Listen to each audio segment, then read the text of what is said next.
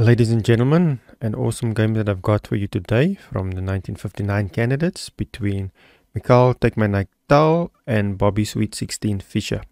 Keeping in mind Bobby was only around the age of 16 uh, during this time. Anyway, Tal opens with d4, Bobby with knight f6, get c4, g6, and knight to c3 from Tal.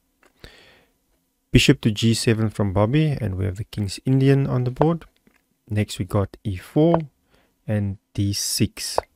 Bishop to e2, so just continuing with the development, Bobby castles. Knight f3 from Tal, preparing to castle. And Bobby strikes in the center with e5.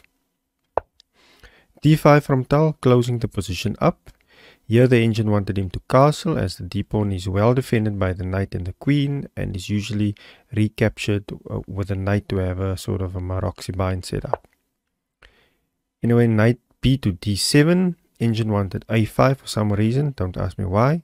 I can only guess to discourage b4. Tal develops his bishop to g5. Now Bobby asks the bishop what it wants to do with h6. Bishop to h4, maintaining the pin against the queen we get a6 and here the engine wanted g5 to get rid of the bishop to put it on a awkward square. We get castles and queen to e8 getting out of the pin. The knights are connected so it's no problem. We get knight to d2 possibly preparing to push the f pawn at some stage. Bobby moves his knight to free up the f6 square. D4 from bobby. And the general principle is to attack in the direction of your pawn structure. So in this case, to the queen side for white. Bishop f6, Bobby trying to trade off Tal's most active piece.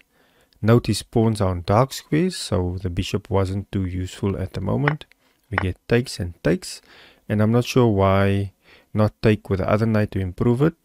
I guess defending the c5 square was important. We get knight to b3, Again, I only assume it's to assist with pushing c5 at some point. Queen to e7 seems to be adding a attacker to the square and to discourage c5. While you hit the subscribe button, also please let me know in the comments if I'm losing the plot or if you agree. Now we get queen to d2, hitting the h6 pawn. King to h7, defending the pawn. You may ask why not play king to g7, but you'll see in a moment. Queen to e3 to support the c5 square. So we've got three attackers and three defenders. Bobby plays knight to g8 to free up the f6 square again. And finally we get c5 from Tal after a lot of preparation. Almost like eating a well-prepared steak or, you know, fruit salad, you know, whatever you're into. Then we get f5 from Bobby. We get takes and takes. And now it makes more sense why king g7 was not played uh, to defend the pawn, but rather h7.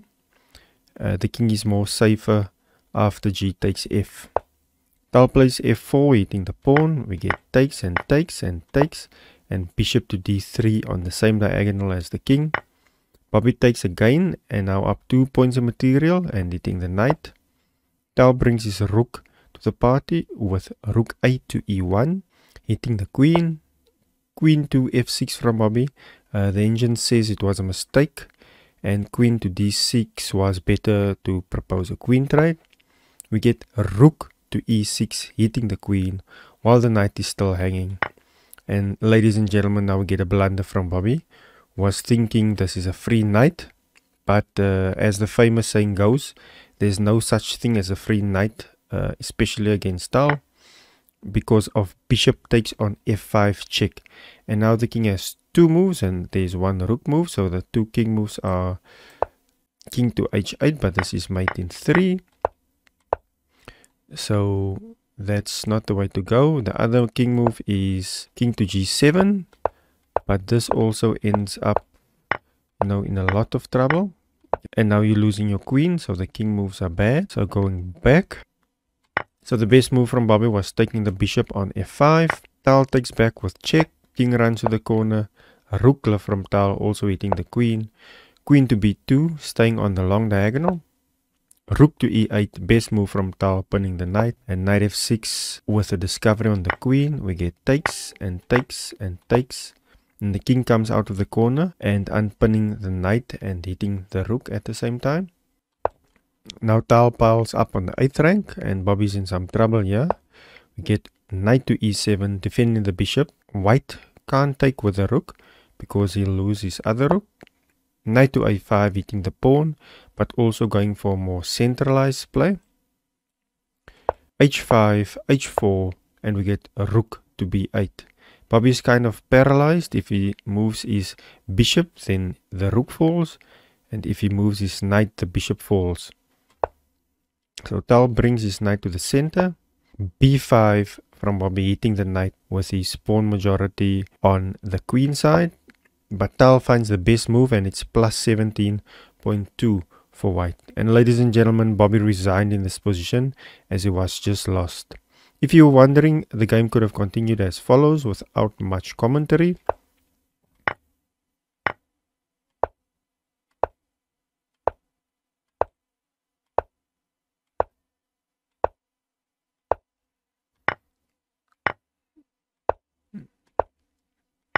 Yeah, so this is absolutely just lost for Bobby. Hotel cleaning things up. Let's go a bit fast. It's my 10. 10. Pawn running up the board. Mate in 4. 3. And mate, ladies and gentlemen. Hope you enjoyed this one.